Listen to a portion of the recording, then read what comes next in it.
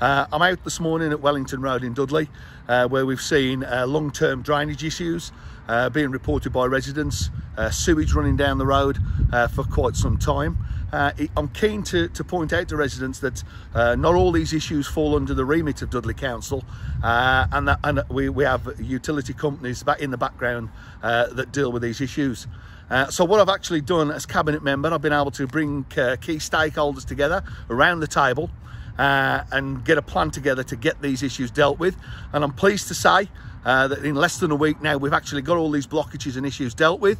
Uh, and now we've got a, we, we, the, the issues are now dealt with and finished with. Uh, so I'm really keen and really happy that we've got this done.